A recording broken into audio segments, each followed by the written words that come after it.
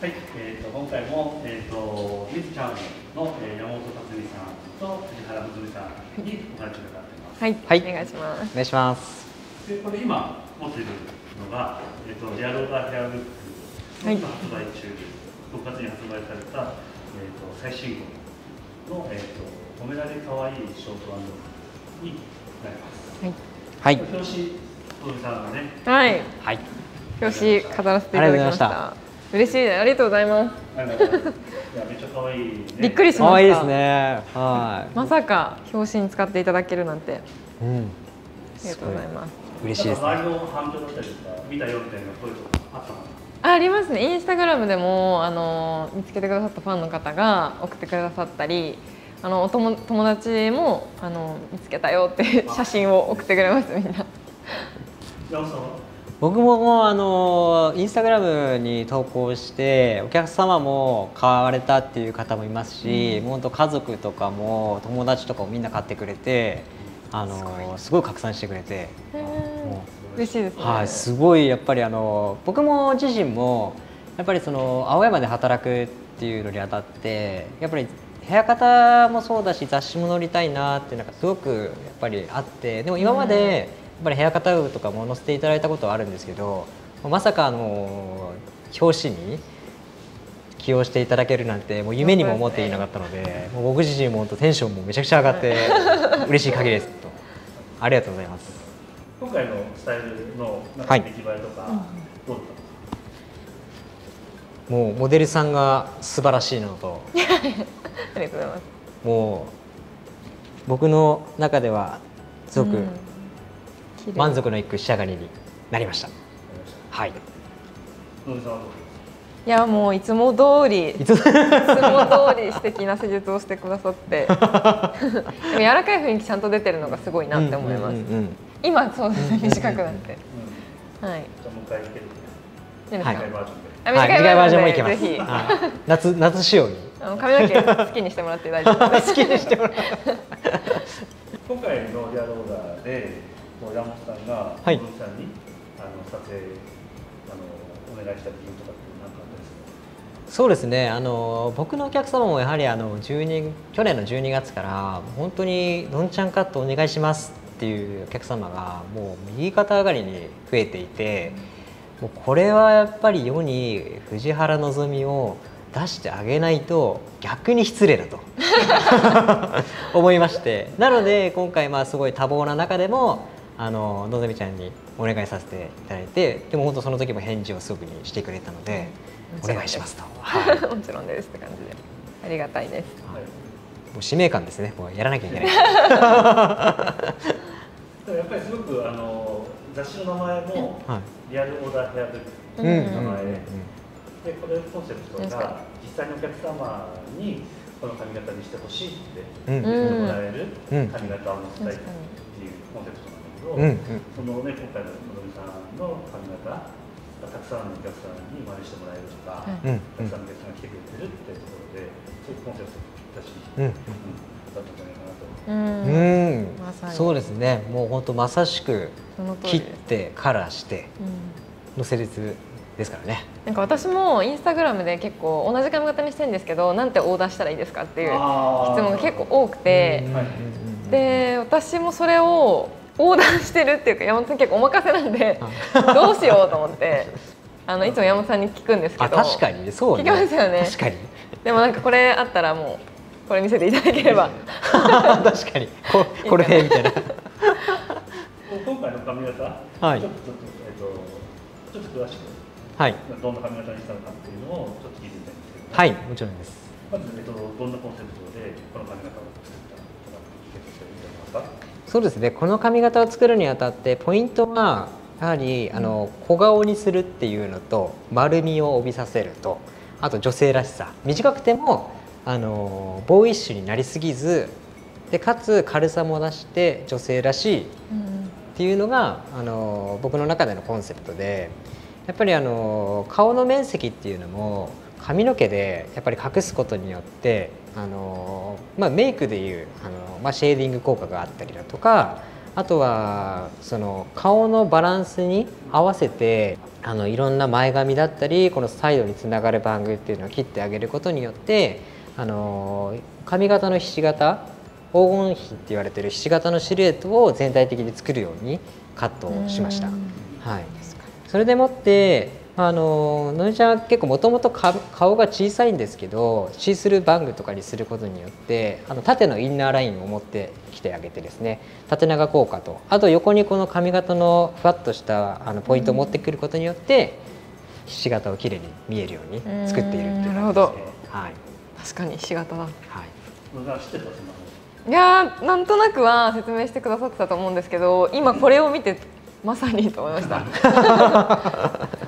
もうすべての、まあのぞみちゃんもそうですし、もうすべてのお客様にあのそれはあの当てはめてですね、あのどんな方でも例えばあの面長の方でしたらポイントを横に持ってくるだとか、で前髪を作ってあげる。で逆に丸顔の方だと縦にポイントを持ってきてあげることによってそのあの自分のネガティブなところをあのポジティブになるようにあのポイントを作ってカットするようにしてますね。はい。はい、ありがとうございます。ネガティブなとこポジティブにっていいですね。はい、ありがとうございます。はい、ありがとうございます。カラーのことは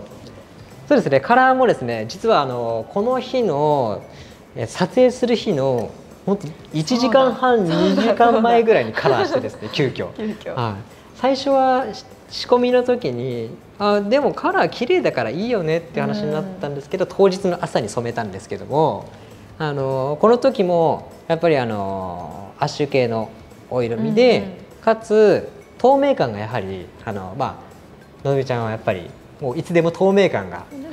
欲しいっていうふうに言われるので。もうそれはもういつもあの任せていただいているのであの分かっているので透明感出しつつもこの時も肌なじみ重視であの染めさせていただきました、うん、はい、色もあのアッシュ系のお色味になってます。で明るさ的にもあの10レベルっていう明るさに設定していてあのやはりちょっと明るい少し明るいぐらいの色にしてますね。のぞみちゃんはもともと瞳の色が明るいのでその瞳の色に合わせてあのだいたい色は考えてあの設定をしています。スタイリングについてはどんな感じで仕上げたはい、と、スタイリングはあのストレートアイロンをさらっと入れてあげてあのヘアバームをあの簡単に全体的につけてあげて最後前髪をあのコームとかでさっと流す感じに簡単に仕上がるようにカットをしています。みんな家でもできそうだね。家でも簡単にできると思います。あの忙しい朝とかでも、本当に2、3分とかで簡単に仕上げられるのですごくなんならアイロンも使わなくてもいいような風にカットしています。はい。で本当に山本さんのカットはまとまるんで私もあの朝のスタイリング時間すごい短くなったなって感じます。簡単にできるなって。ありがとうございます。ありがとうございます。は いこのスタイルってなんかどんなお客様とかどんな女性のお客さんとかになんかおすすめできたりそうですね、えー、この髪型は結構、まあ、いろんな世代の方におすすめできるように切ってます。なぜならばその先ほど言ったようなあの顔のバランスに合わせてカットも調整しているので本当に僕のお客様は、えっと、8割9割がショートの方なんですけどもう本当に確実に似合うようなバランスでもちろんあののぞみちゃんにはのぞみちゃんに似合うような長さの調整をしているんですけど人によってはここのサイドの長さをちょっと長めにしたり短くしたりここの調整ですね。をしたりして確実に似合うように切ってます。はい、はい、どんなお客様でも似合わせることができます。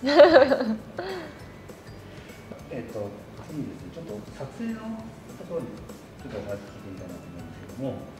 このまあどんなお客様でも似合うというところだったのであんまり違いはないのかもしれないんですけども、その撮影の時とお客様のことで何かあの気持ちだったりとか技術だったりとか、うん、違うこととかっていうのがあったりしますか、うん。そうですね。あのお客様の時にあの一番大事にするポイントはその人の私生活まであのその人の背景まで想像してあの施術をするっていうのを心がけていて、まあ、例えばその来たお客様が子育てがあって小さいお子様がいます。忙しいですなかなか自分でスタイリングすることができません。っ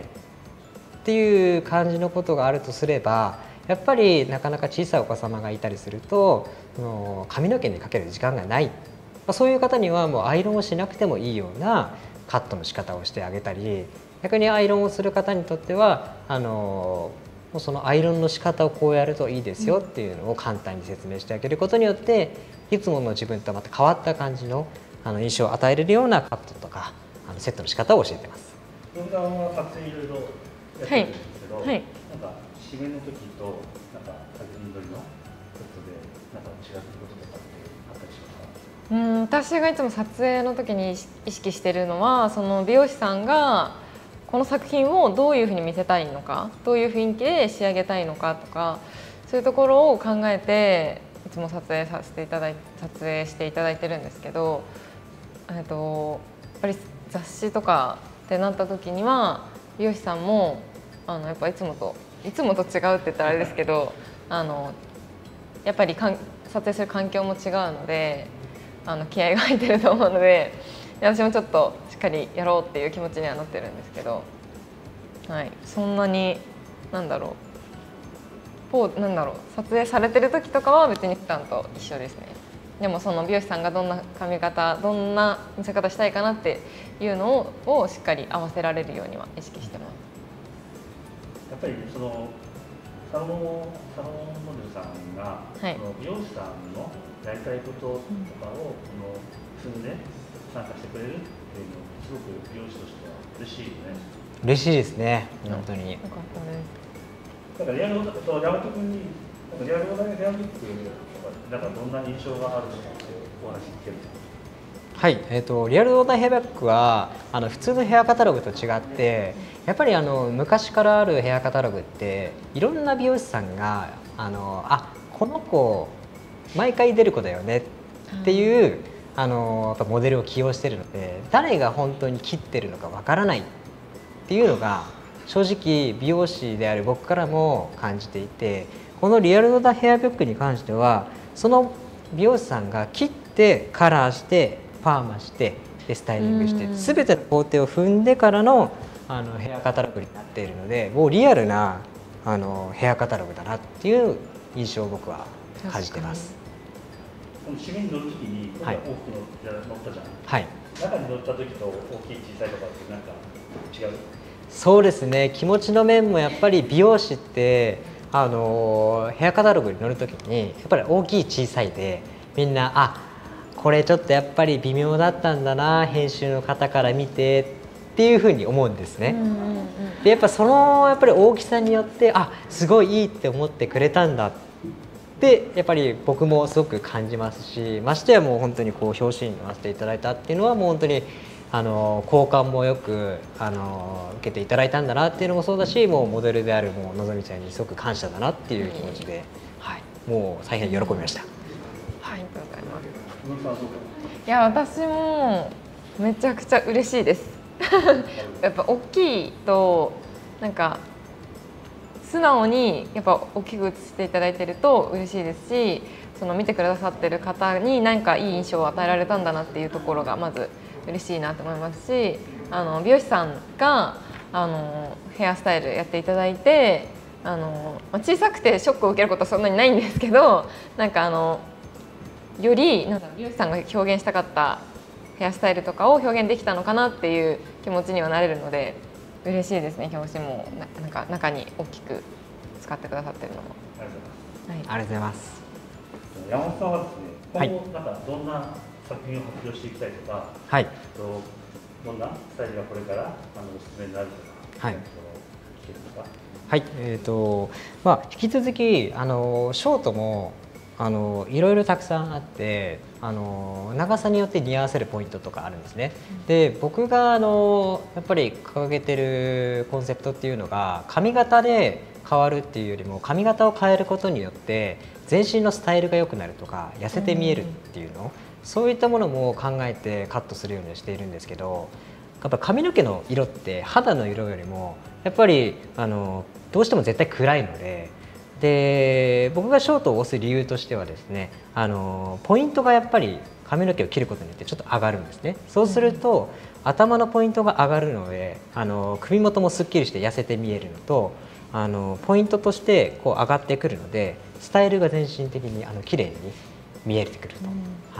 そういったものをですねあの僕は考えているので今後もショートのヘアスタイルは押していきたいなっていうのと、まあ、その時々あの春夏秋冬に合わせてあの提案できるあのポイントの違いっていうのは出せるので、はい、そういったものを提案していきたいなと思ってます。